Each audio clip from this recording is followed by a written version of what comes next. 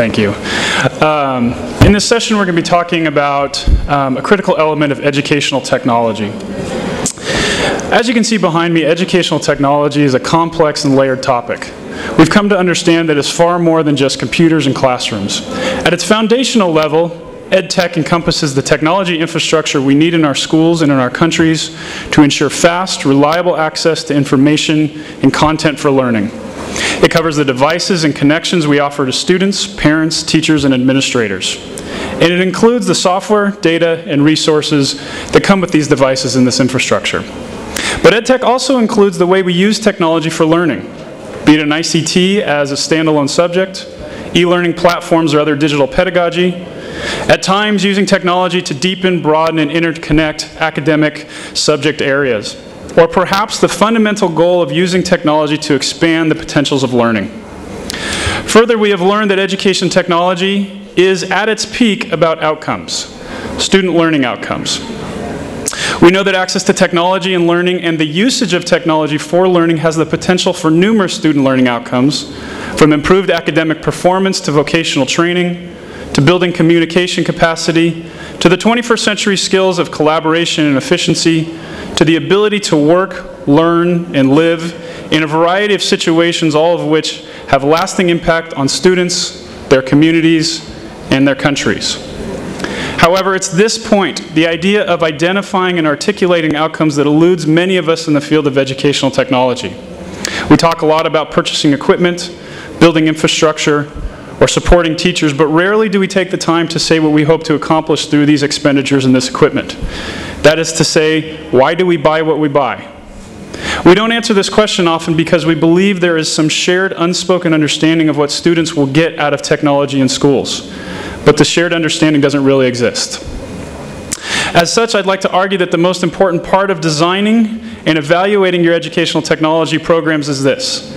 You need to identify what you hope your students will learn through technology and education. And as you can see, I have listed several potential outcomes that I think many of you have either talked about in the past or heard discussed in countries around the world. Now, the identification and articulation of your attended outcomes, or if you like, the impacts you're hoping to, to have on your students, is an arduous process and one we're not going to tackle in the next hour. However, I highly recommend that you engage in these discussions with an on an institutional or ministerial level. I would recommend you don't do this alone.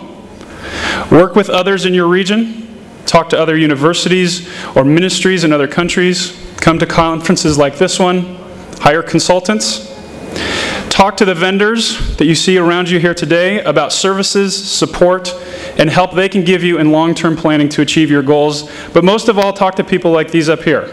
These are experts in the field, and they are an excellent resource for you to use. This leads me to our discussion for today. Over the next hour, this panel will help shape the questions you need to ask when designing your educational technology initiatives. We'll do this by focusing on one element of the EdTech picture, devices, standards, and applications. And hopefully we'll provide you with a few answers and some expert advice that you can take along the way. If we come back to this and we look at the bottom layer of the educational technology pyramid, you'll see, you'll see access to technology. This is the foundation for learning in all of EdTech. It's the tools, the devices, the connections, the software, the data and the network, everything down to the ones and zeros. And it is a foundation because as you can see, teaching and learning in EdTech is governed by the systems or the tools it's built upon. We can't teach students to research on the internet or develop digital literacy if they don't have access to a device or the internet. Further, the outcomes or the impact on students is built upon this technology usage, thereby culminating all of our efforts on the students themselves. Today we're going to talk about one element of the foundation level of access. So let's unpack that bottom layer here just for a minute. Technology tools in education can be broken down, simplistically mind you, into three categories. The first of which is infrastructure, which I will define as systems required to connect devices to content and data. This includes servers, broadband, wireless, other networking equipment or information systems, databases, and the like. These are the things that organizations invest in heavily, both in time and manpower. However, the users who rely on this infrastructure heavily rarely understand the interactions they're having with it. Second, we talk about devices, standards, and applications. These are the physical tools our students, our teachers, our education staff use to access our networks, to be productive, to consume information, to create content, and to communicate. It is their portal to everything else.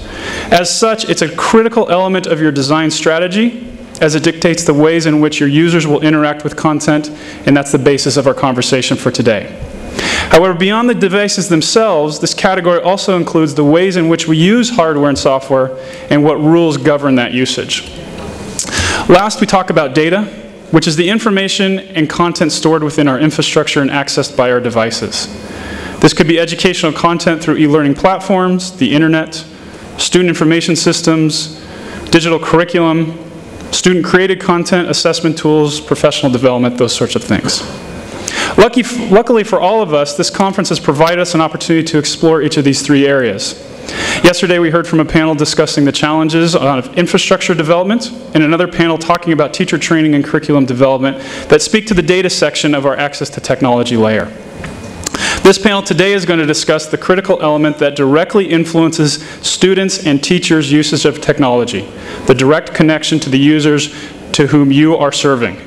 We're going to talk about devices, standards, and applications. First, by standards and applications, I want to clarify just a bit.